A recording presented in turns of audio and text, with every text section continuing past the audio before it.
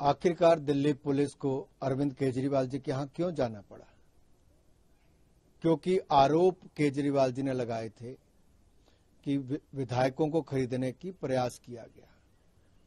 आखिरकार ये हवा में ही आरोप लगे थे। और इसके सबूत तो उनको देने ही चाहिए।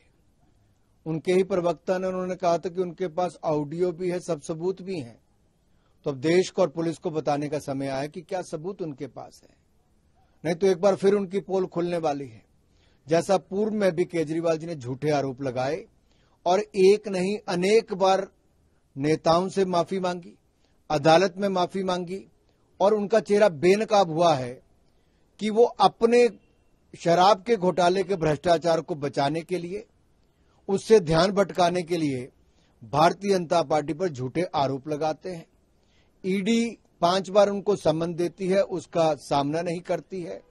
वो अपने जिन मंत्रियों को ईमानदारी का सर्टिफिकेट देते हैं, वो आज जेल में है उनके उप मुख्यमंत्री उनके सांसद जेल में है।